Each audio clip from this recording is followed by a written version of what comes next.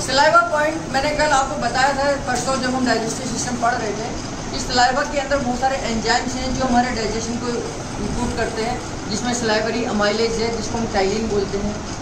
Blood clotting factor है iodine है है ना? तो उसमें सलाइवा में और सारे मिनरल्स भी बहुत हैं, पानी भी है, जिनका अपना अपना रोल है। और सलाइवा अगर ना हो तो खाना हमारे मिक्सअप नहीं होगा, खाना हमारा छोटे छोटा टुकड़ों में टूटेगा नहीं, और खाना अगर और सलाइवा ना हो तो लिक्विड फॉर्म में नहीं जाएगा।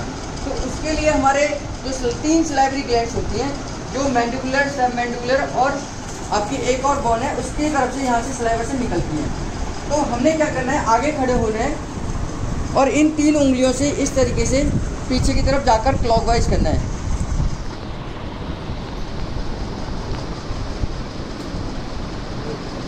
कान के नीचे तक क्लॉकवाइज करना है। जब आप ये ट्रीटमेंट देंगे तो अंदर ही अपने मुँह में, अपने आप ही वो एक अलग सी सनसनाहट आ जाएगी। आई? हाँ।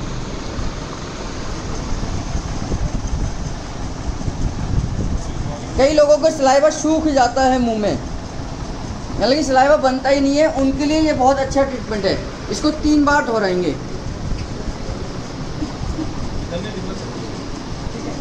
ये क्लॉकवाइज करेंगे।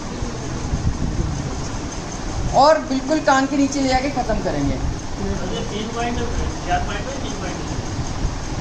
ये क्लॉकवाइज करते हुए कान के नीचे तक लेकर जाएँगे और इससे पूरा आपका सलाइवा जहाँ से प्रोड्यूस होता है, यहाँ से पूरा प्रोडक्शन इसका बढ़ जाएगा। सलाइवा पॉइंट सलाइवा की प्रोडक्शन को बढ़ाता है, आपके डाइजेशन को इम्प्रूव करेगा। कार्बोहाइड्रेट के डाइजेस्ट करने के लिए बहुत ज़रूरी है। जिन लोगों को वीकनेस रहती है, जिन लोगों के खाना खाने के बाद भी उनका कार्बोहाइड्रेट डाइजेस्ट नहीं होगा तो फ्लाइवा पॉइंट हमें ज़रूर देना चाहिए।